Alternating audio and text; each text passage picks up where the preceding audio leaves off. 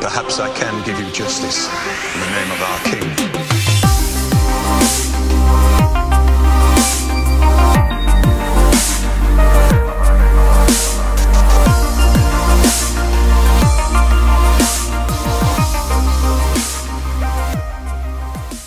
Hey guys, welcome back to 31 Days of Halloween.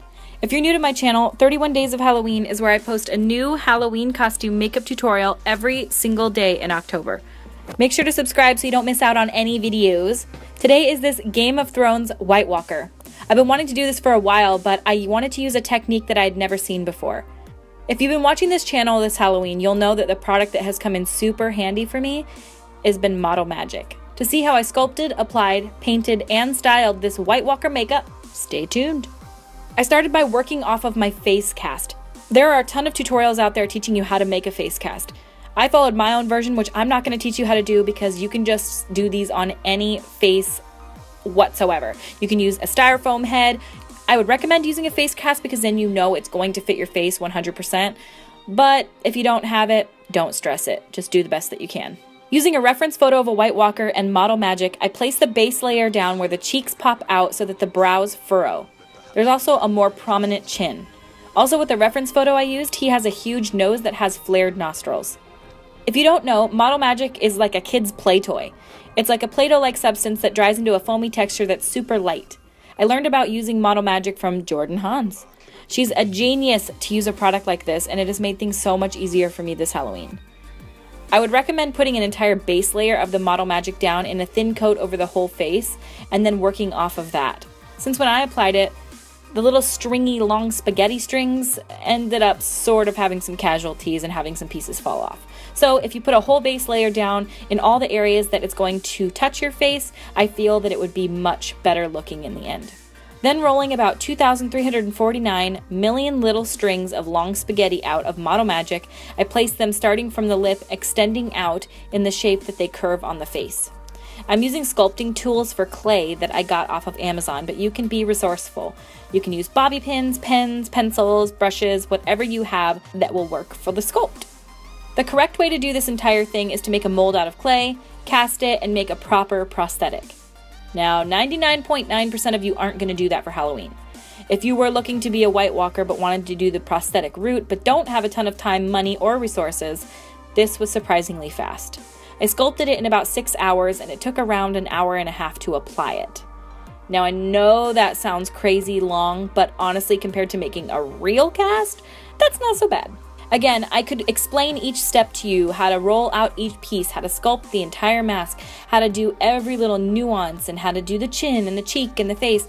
But the most important step that I can show you and tell you is to use a reference image. Me explaining it isn't going to be as good as you just doing it based off of what you see a White Walker's face looks like and what it will look like on your face. This is far from perfect.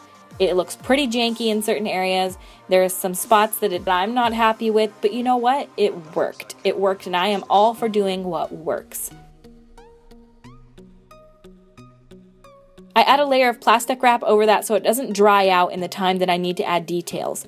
Here you can see me adding little divots into the lips, and the little sausages that we rolled together make them look a little more cohesive by sort of blending them in together. It also makes running the sculpting tools over it easier because it doesn't drag in the foamy model magic.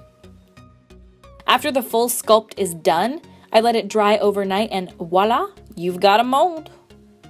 I also made some little chest prosthetics doing this exact same technique but laying it down on a flat piece of plastic wrap and then just sculpting it out the same way that I'm doing the face I did not use like a neck mold or anything. I just sort of hoped that it would work. And it did. It didn't work great, but it it got the job done. And again, I'm all about getting jobs done.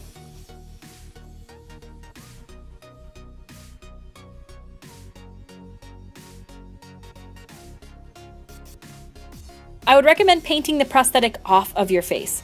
I used one color for the entire mask, and that's gray alcohol activated paint. The reason I used alcohol activated paint is because it can be thinned down into an almost completely sheer so you can get a really light wash of color. However, it can also be made to be quite opaque if you need it to, you just use less alcohol. You can see here I'm wearing a bald cap already. I'm not going to show you how I applied my bald cap because there are about 47,000 tutorials online and look how mine looks. It's janky as hell because I used an old one that I had used on a previous tutorial because I knew this one was going to get ruined and why would I want to use my new fresh one for that? I cut my prosthetic into pieces to apply them separately. If you're going to do a Halloween party or something, there are a few things I would recommend. First, what I suggest before with doing the base layer of Model Magic down so the strings don't fall off. Secondly, to apply it in patches like this so you can eat and talk in the mask. I did the forehead and cheeks as one piece and the nose and chin separately. I used a layer of Pros-Aide adhesive to keep it all in place, all over my face. Pros-Aide is ready to apply when it's clear and dry, so it's easy to figure out. Applying Pros-Aide or liquid latex to your neck is not recommended by me because you may not know it, but you have about 8 million hairs on your neck. You do. I'm making up that number, but it feels about that much when you are peeling it off and it's ripping every one out slowly and tortuously. And I removed it properly. I removed it with isopropyl myristate going slowly and peeling gently, and you think it will not hurt, but I can promise you that it, it's it's horrifying and made me want to scream and cry. Then I take fresh Model Magic that is not dried down and fill in where the gaps are the same way that we made the mask by applying a base layer down and then layers of Model Magic in little rolled out sausages and painted with a dark gray alcohol paint. It totally works fine to use fresh Model Magic. It's not necessarily the best way to do it. However, it stays and it, it worked. So I do what works again. It really just blends the prosthetic in back further. It doesn't have to be perfect and you don't have to go all the way back on your head, but if you did want this to look the best, I would go back as absolutely far as you can and I would also make sure to blend your bald cap better than I did.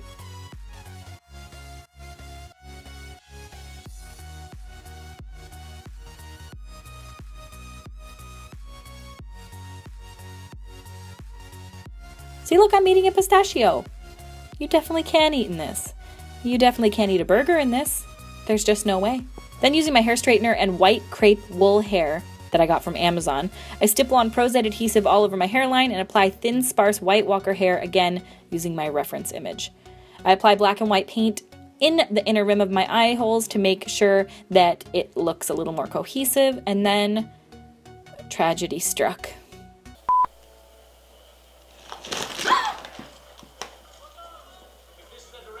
Oh my god.